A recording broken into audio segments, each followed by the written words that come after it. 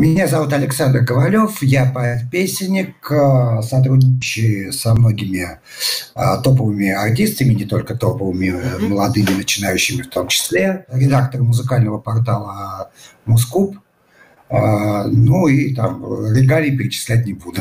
Первый вопрос такой. А, искусственный интеллект в недалеком прошлом начал сам писать стихи.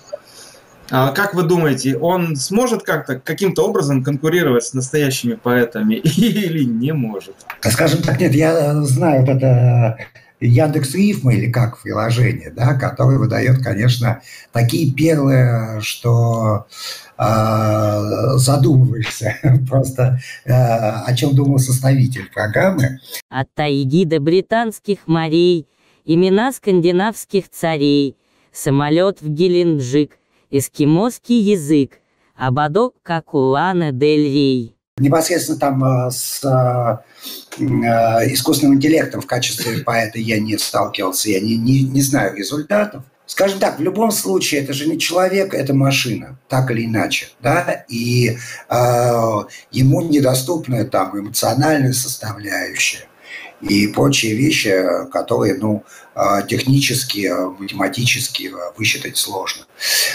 Зная некоторых авторов песен, поэтов, если их можно так назвать, с ними, да, с ними вполне может конкурировать. Есть большие поэты, к сожалению, которых там многих нет, которые делали в эстрадной песне выстраивали целую вселенную, такие как там Дербенев, например, да, а, такие, таких, мне кажется, а, никакая машина э, никогда не заменит.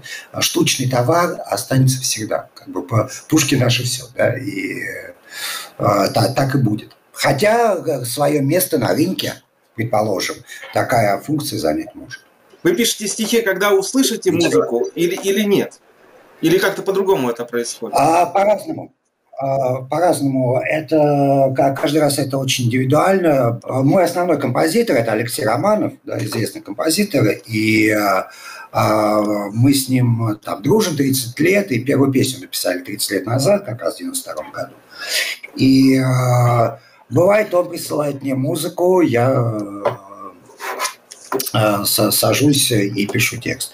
Бывает, что мы с ним сидели, смотрели фильм «Бертолуччи. Мечтатели», и он э, говорит, вот, смотри, отличная строчка, мы с тобой мечтатели, и мы пока э, досматривали фильм, мы написали эту песню которую потом Дима Билан исполнил. Мы с тобой мечтатели, мы такие разные.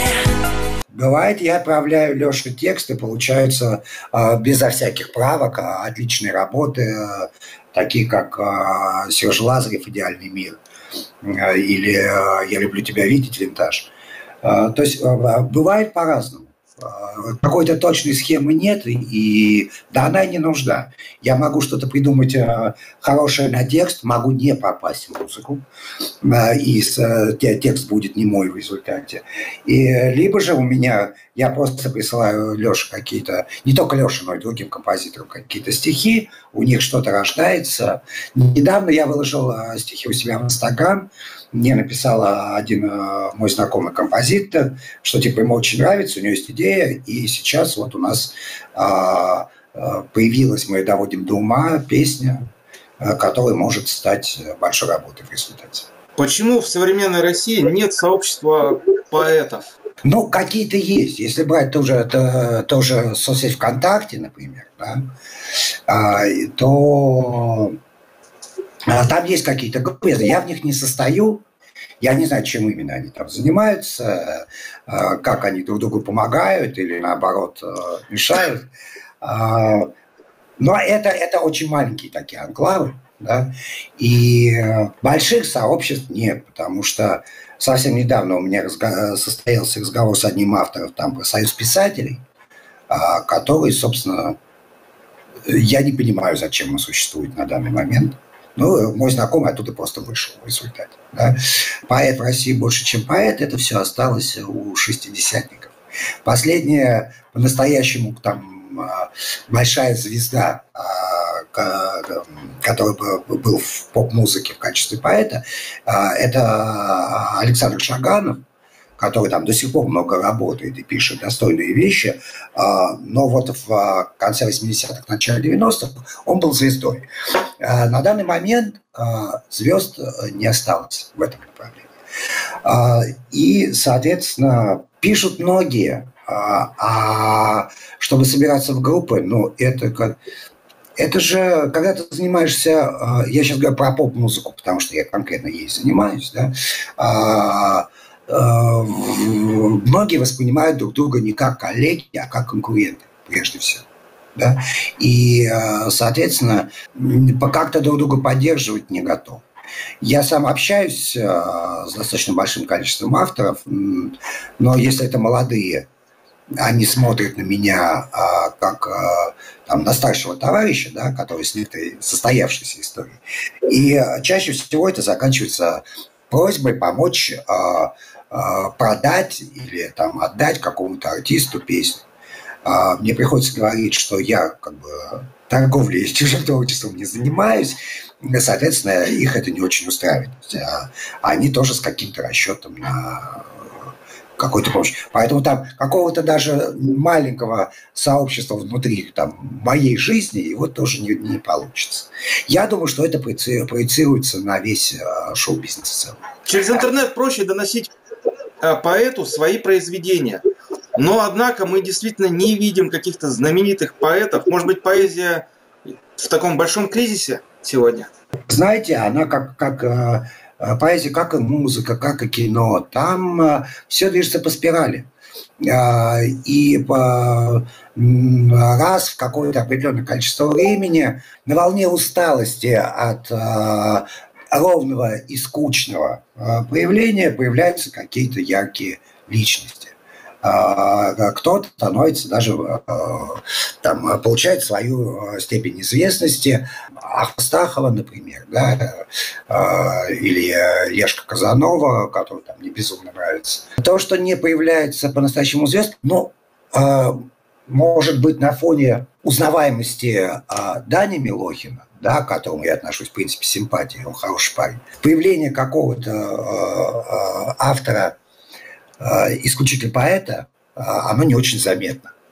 Я думаю, что в какой-то своей среде, в э, интернете, в определенном, э, определенной целевой аудитории есть люди, которых можно... Вот знаете, как вот сейчас появилась вот эта идиотская звезда фильма, звезда сериала, там вот пишут, да, человек там ярко сыграл в одном сериале, его и называют звездой этого сериала, даже если он не сыграл нигде, то, наверное, есть какие-то звезды сообществ я бы так это условно назвал. Просто они не, а, не только, не то, что неизвестны широкой публике, они, скорее всего, очень интересны, потому что все-таки а, поэт – это слово. Чаще всего в каком-то печатном виде, да, там на экране монитора или в книге, а люди, широкая публика любит лица. Она запоминает лица, она ориентируется на лица. А, ну, а как раскручиваться поэту? Даже, даже если завести свой канал на Ютубе и читать стихи, э, так, ну, вряд ли это будет э, такая же востребованность, как э, э, с матерными частушками Шнурова там, и так далее. Я через Рауха Туга познакомился с вами, через мои НЛО. Скажите, как вы с ними познакомились и вообще сотрудничали ли вы с ними? А в качестве поэта нет, не сотрудничал. С Раухом мы познакомились э, достаточно уже много лет назад. Э, через э, начали общаться ВКонтакте, переписываться. Потом, а когда они приехали в Москву, они пригласили МНЛО, пригласили меня на концерт. И вот, собственно, поддерживаем отношения. Прошлым летом я снялся для их клипа «Москва». А, мы с а, Раухом постоянно переписываемся, он присылает мне новые песни, а, советуется. Мы на портале мы по возможности их поддерживаем. И, собственно, такие приятельские отношения. Вы работали со многими звездами, сейчас работаете. Какие у вас впечатления от Димы, например, Билана? Со многими звездами я общался очень условно, несмотря на то, что они поют мои песни. С Димой мы общались в основном по телефону, и это было даже не по поводу мечтателей, а по поводу второй песни моей, которую исполняет «Холодные огни». Мы, он хотел поменять припев, и мы, собственно, созванивались на эту тему дня три, там, может, там, четыре мы созванивались, и в результате как бы пришли к единому То есть у меня он четкий профессионал, он знает, что он хочет, он умеет это объяснить и аргументировать. Есть просто люди, которые, с которыми я дружу, близко приятельствую и так далее. Там а, Леша Романов, как я уже говорил, мой лучший друг. Мы также, естественно, мы больше 15 лет работаем и близко общаемся с Аней Плетневой. Да, она замечательная абсолютно. Дима Колдун, я горжусь тем, что я, я называю его своим близким приятелем, может, даже другом, потому что он а, очень интересный человек, а, очень неординарный. Да, с ним не скучно, точно, да, и а, там те песни, которые мы, мы с ним делали, там а, тоже с ним приятно работать, а, как с профессионалом. А существует ли в хите каком-нибудь какие-то ключевые слова, которые нужно для того, чтобы песня стала хитом? Или это, это все так, теория только? Мы сейчас про розы, морозы, кровь, любовь, да? Ну вот, например. А, в действительности нет. Опять же, это к тому, что я выше говорил. Это всегда очень индивидуальная история. Есть какие-то а, технические а, моменты, когда ты а, используешь, там, придумываешь хук, да, как, ты знаешь, что это вот слово два или, или там э, строчка, э, которая будет повторяться и будет запоминаться. Э, это технические наработки, которые зависят от очень многих вещей, используешь ты или нет, да, потому что если, если ты пишешь просто текст для песни, знаешь, что это будет песня, но нет ни музыки, ни артиста еще на данный момент, то ты как бы пишешь то, что а, как бы, по, велению сердца на данный момент. А, работая, например, как это на музыку или под заказ на артиста, ты начинаешь отталкиваться от образа, и, и так далее. Создаешь какая-то повторяемость, безусловно, быть должна. А, много зависит а, от, а, опять же, от музыки. Да?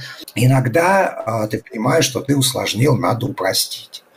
Надо понимать, что массовая песня для массового слушателя, она должна, я про поп-музыку, рок-музыку, там свои правила, она должна быть проста для восприятия.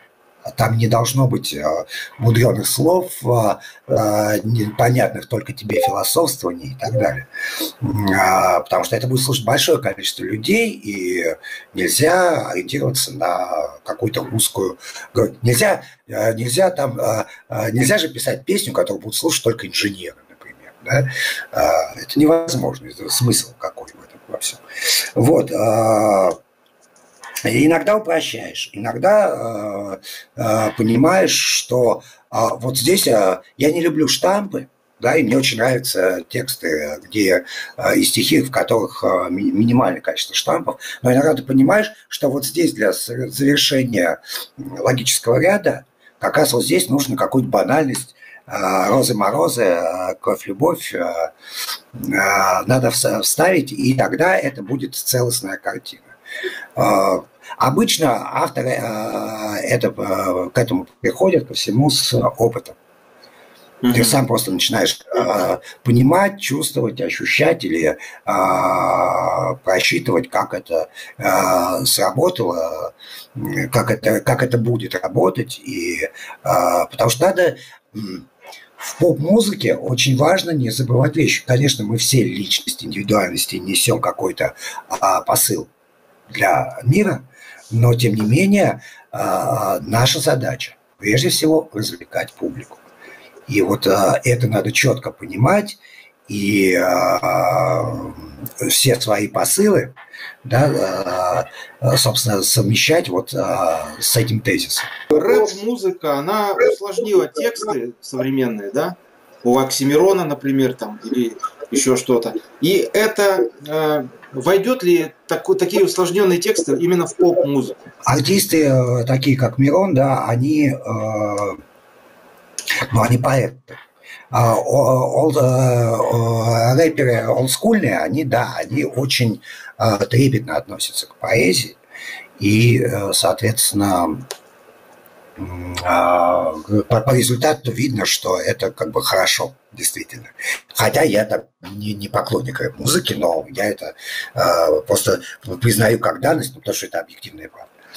А, касаемо поп-музыки, в любом случае есть какие-то эксперименты, есть какие-то смешения жанров. А, и что-то переходит, э, тот же, а, то, что сейчас называют рэпом, вот э, новая школа, это по сути поп-музыка, да, то есть это не, не рэп пришел в поп-музыку, а поп-музыка пришла в рэп. А, и э, таких вещей очень много. Скажем так, слишком усложненные тексты для поп-музыки, но это как-то вот, ну, каким-то отдельным направлением поп-музыки, а это было, есть и будет – да, потому что то, что, например, мы делаем для винтаж, а, понятно, что вряд ли это будут слушать там поклонники, ну, например, а, Сережи Жукова, а, потому что у нас все-таки стихи в песнях винтаж, они более мы, мы пытаемся донести какую-то философию, не только, а не только, предположим, там лирическую, лирическую нить повествования.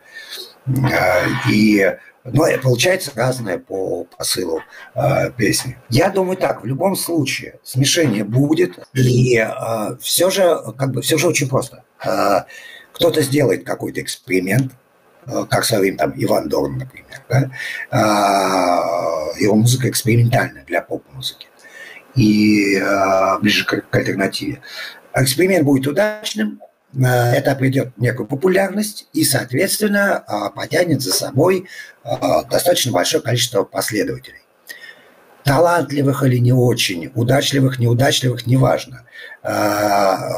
Все равно это будет достаточно большое поле, и вполне возможно, что это как-то станет определенным направлением и будет жить дальнейшей своей жизнью.